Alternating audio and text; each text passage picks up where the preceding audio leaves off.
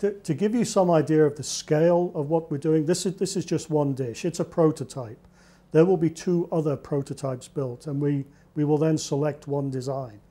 But ultimately we're going to build 250 of these for the first phase of the project and then 2,500 for the second phase.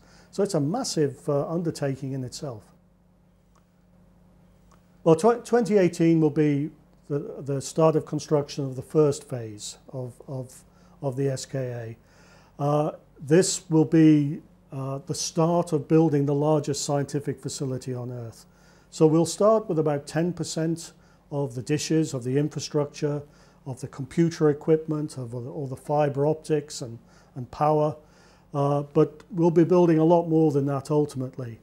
But to give you an idea of the, the scale of the data we're going to move, which is something that a lot of people uh, are amazed when they hear, The, we, we will be transmitting uh, in about 2020 data which is equivalent to 10 times the global internet traffic of the Earth.